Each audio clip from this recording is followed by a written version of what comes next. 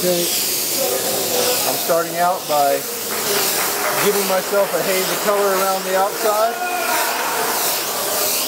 And you notice I'm going back over it. I give myself a basic shape and then I'll go back over it a lot to really get the saturation into it. Okay, now I'm going to take my glue, glue my stencil real quick.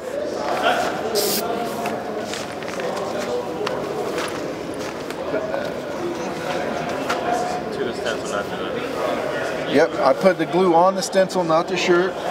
Now I'm going to come in, take my cloud design.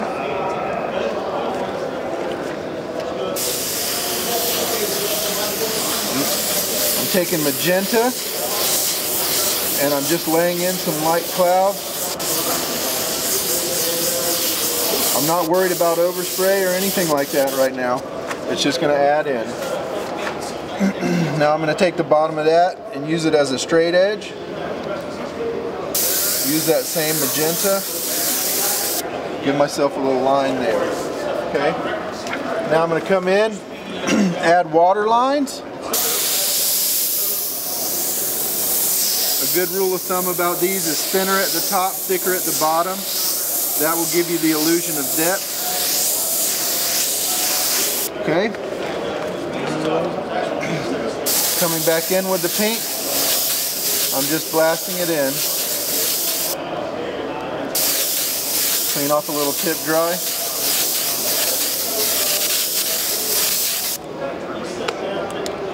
Come in with a little yellow.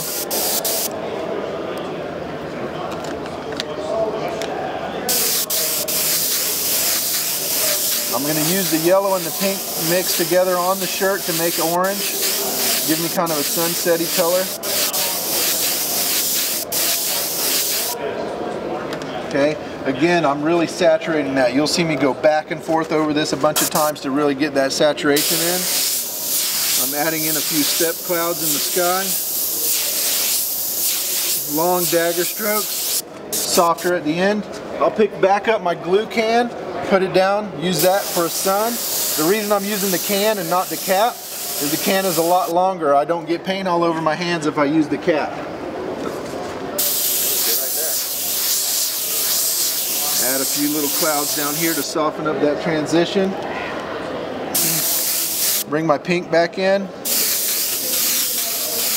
Really blasting that in over and over. Really bumping up the saturation with that adding a little transition to around the sun. Come back with my yellow. Add that into the sky. I'm kind of mimicking the colors I put in the water because what's down in the water has been reflected from the sky.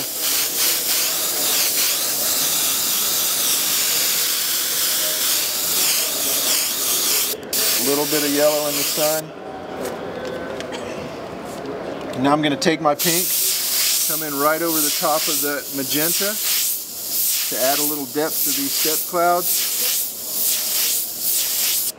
Okay, now I'm going to pick up my black and I'm going to add a little bit of sea oats to it. Where I live, we have these and they, they kind of grow in the sand dunes and help keep the sand dunes from blowing away during storms or, you know, adverse weather. So we like to put these in our designs versus palm trees because we don't have palm trees where we are.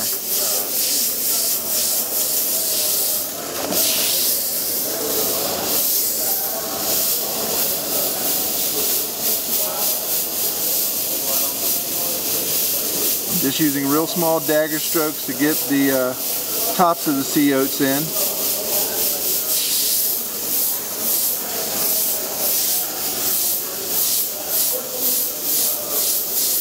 Okay.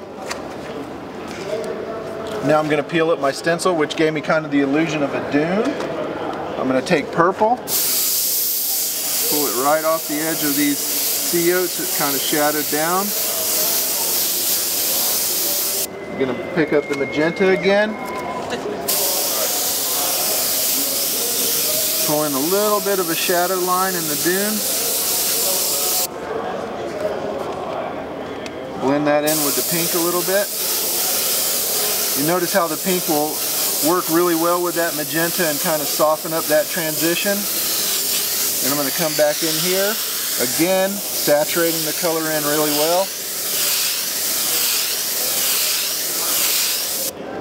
Okay, now the last thing we're going to do, I'm going to add a couple of birds. Just basically V daggers. And how do you spell that name again? S-H-E-R-R-Y. Okay, so this is what we're gonna do now. I'm gonna add the name to it. What this is gonna do is set this design off, all right? It's gonna make this sell. This by itself would sell okay. With this, with the name added to it, it's gonna sell great.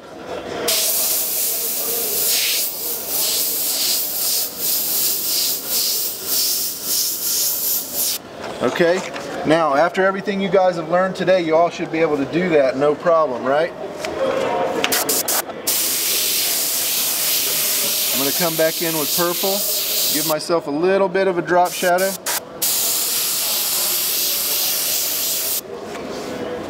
Come back in with the black.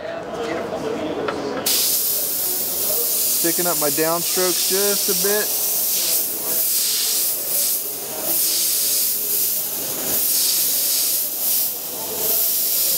And this is just for a little bit of extra punch. It really didn't need it.